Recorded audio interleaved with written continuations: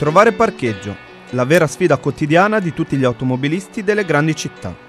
Trovarlo gratis, poi, può diventare addirittura un'impresa, perché il colore dominante delle strisce dipinte sull'asfalto è il blu.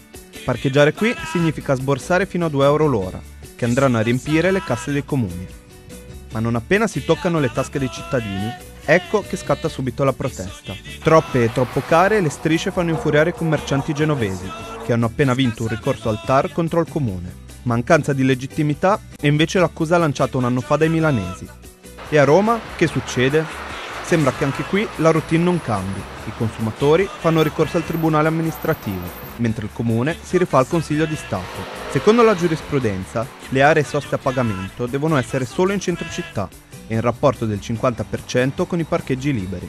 Una sentenza della Cassazione aveva infatti stabilito nel 2007 l'obbligo per gli amministratori comunali di realizzare parcheggi gratuiti accanto alle blu aree, rifacendosi all'articolo 7,8 del codice della strada. Ma se da un lato le strisce indispongono gli automobilisti spesso multati, dall'altro rappresentano una risorsa importante per i bilanci comunali. Il punto sta nel capire dove vadano dipinte.